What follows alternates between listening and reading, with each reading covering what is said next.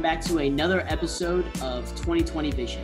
Today, I have another amazing group of seniors. Why don't you guys say your name and tell us what your plans are for after graduation? My name is Maggie Bleak, and I'm going to be going to Clemson in the fall, and I'll be studying health science.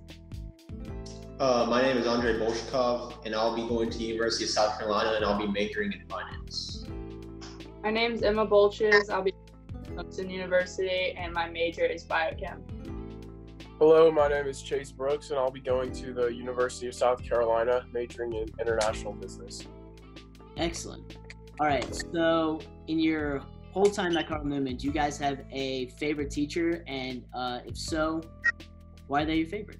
I've honestly had so many amazing teachers because I've been there since seventh grade, so every year has been so different, and I've had just some really awesome teachers in general. But this year and my junior year, I had Miss Condra for my college English class, and that was a pretty hard class. Chase and Andre, y'all can agree, it was pretty rigorous, but she was always super comforting and encouraging, and just an amazing teacher overall. Um, I would say it's a toss up between junior year and senior year between Miss Cummings, Mr. Bull, and Miss Condra, like Maggie said. Um, I would say though, Miss Cummings though maybe a lot of a stronger student, a lot stronger. Uh, I had to work hard to do well in that class, and it taught me a lot of good life lessons besides being better at math. So I would say Miss Cummings was definitely probably uh, the most influential teacher by far. Um, I only had him one year. I know some people had him junior year, but Mr. Jet has kind of been my favorite this year. Uh, he just kept things very real in the classroom. He was funny and encouraging, so it kept the classroom alive. He was overall just like a great role model in your faith and like time management and like where your priorities lie. And I really appreciated that. He's a very interesting, odd man. Honestly, I'd have to say Miss Pilkington from 10th grade year because it was just a very odd class. It was very different from all the rest of my classes.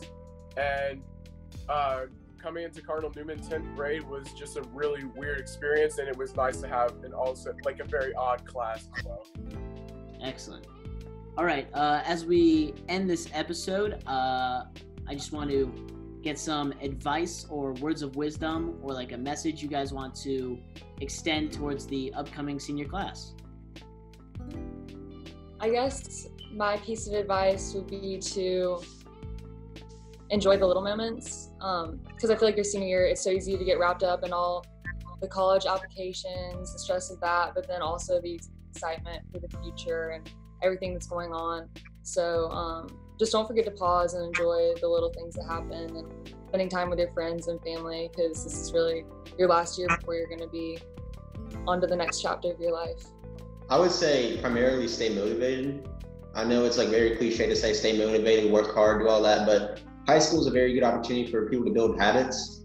And I know as a senior, it's very stressful. You're preparing for college, so I'd say use this year where you have you know hard classes to build good habits and build yourself as a person, so college won't come as so much of a shock. Um, I kind of building off what Maggie says, just don't take anything for granted. Like our year got cut short, so it's kind of sad, and it like makes you realize like how much you complain about having to go to the football games on Friday nights or something like that. Just like go, go to everything you can, like do everything you can, like really focus on your classes because in the long run, it's so much fun and you're gonna miss it. Uh, building sort of off of what everyone else said, I'd say relax, but don't relax too much. Like just take time to enjoy everything, but make sure you're on top of everything academically as well. This was an excellent episode. Thank you guys for your time and stay safe out there. And good luck with college next year. Thank you. So much. Thank you.